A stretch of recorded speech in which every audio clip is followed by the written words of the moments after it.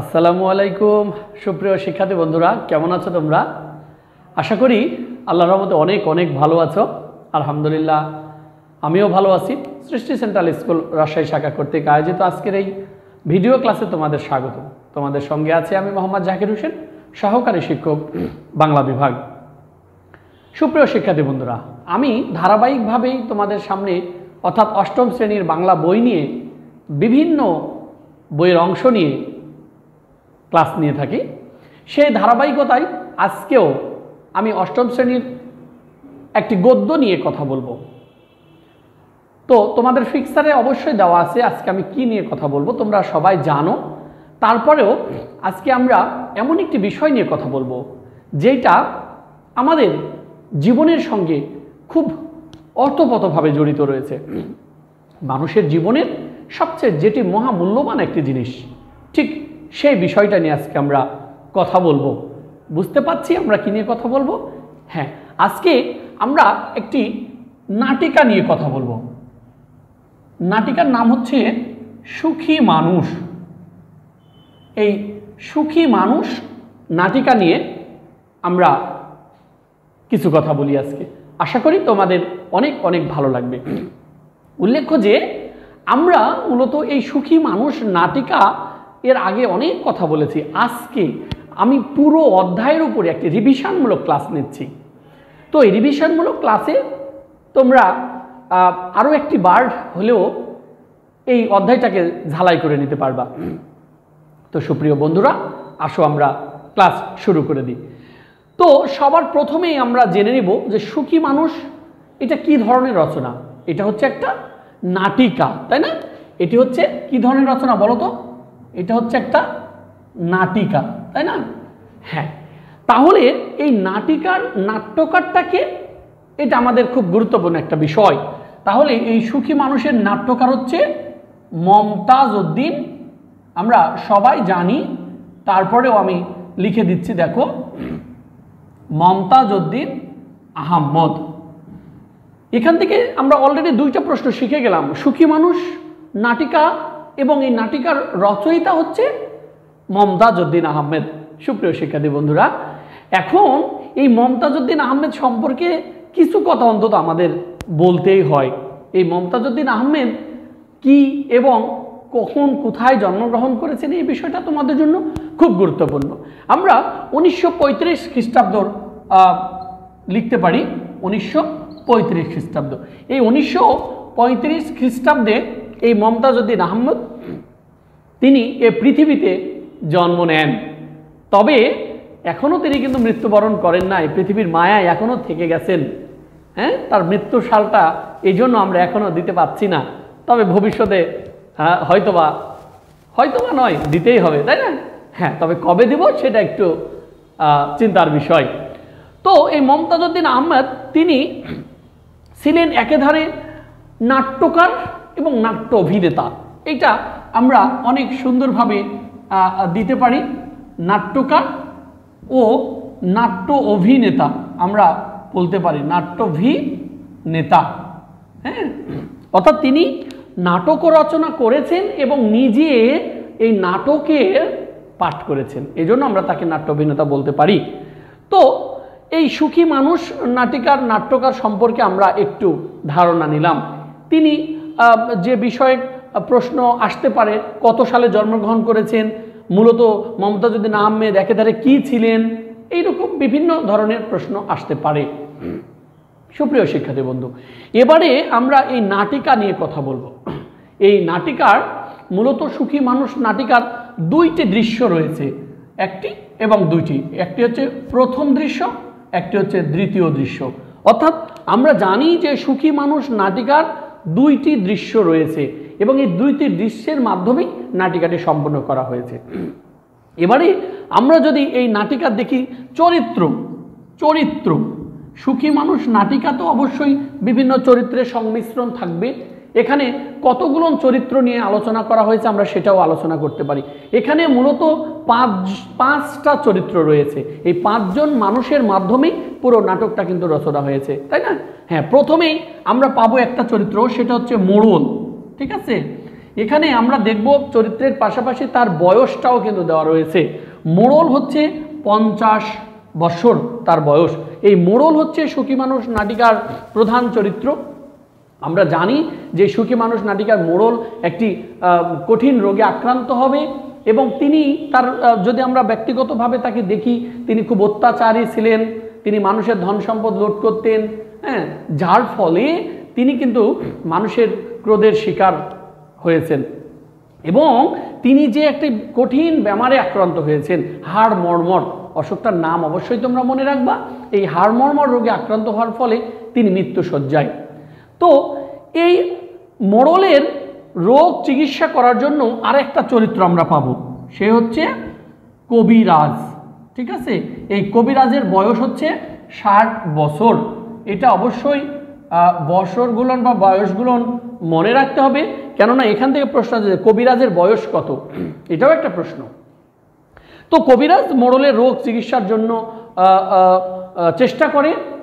তো এই কবিরাজের কবিরাজি যে ফর্মুলা দেয় যে মরলের অসুখ অবশ্যই ভালো হয়ে যাবে, একটা কাজ করতে হবে, একটা কঠিন কর্ম করতে হবে, সেটা কি?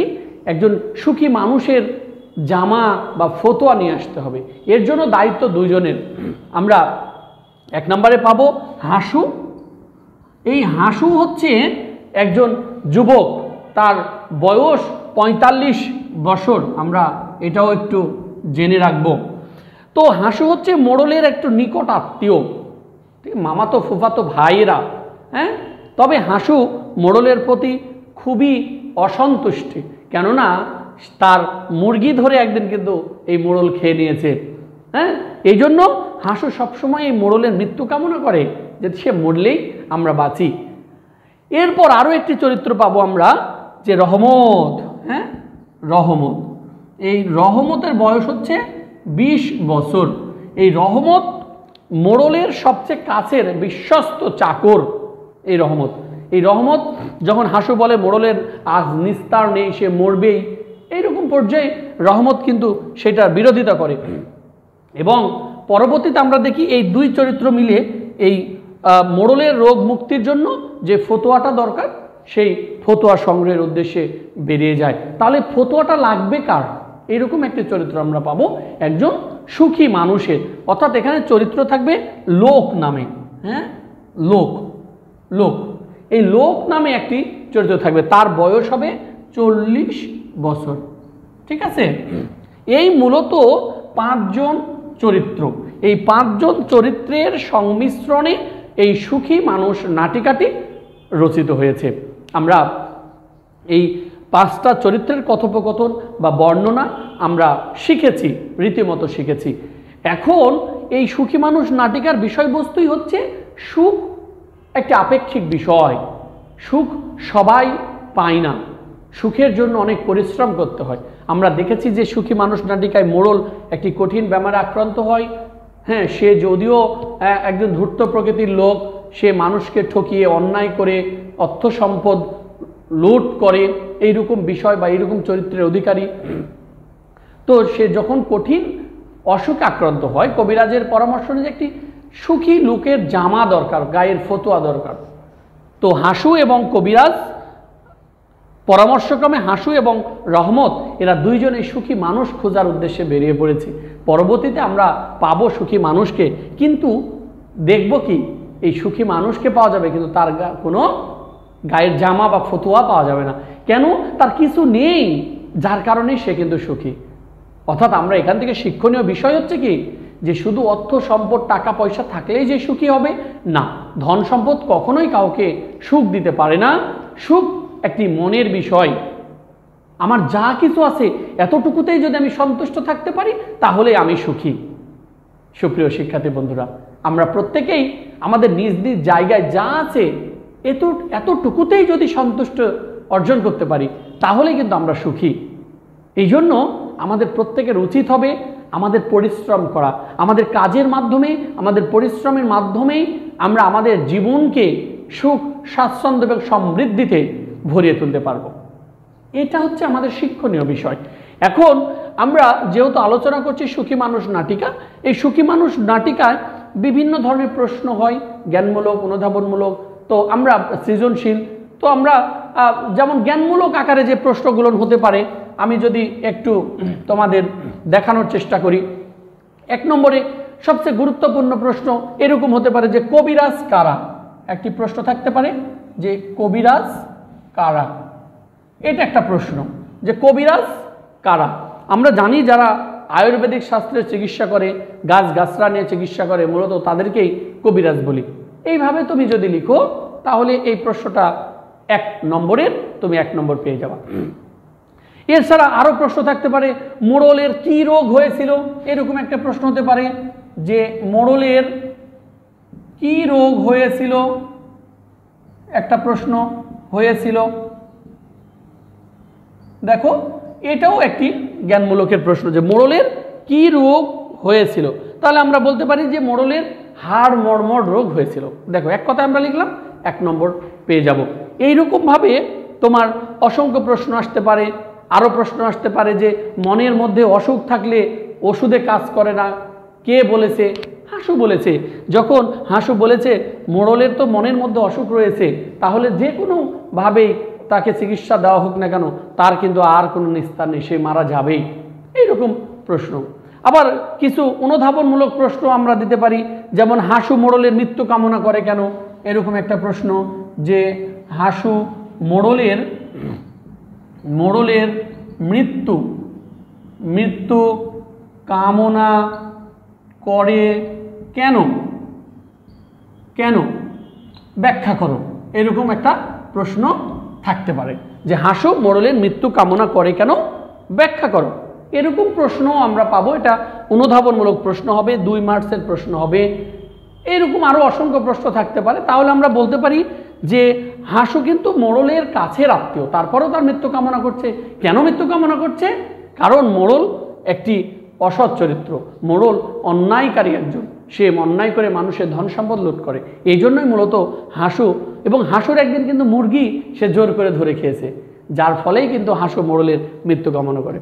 এরকম আরও প্রশ্ন আসবে, সুখী মানুষের প্রাণ খোলা হাসির কারণ কি?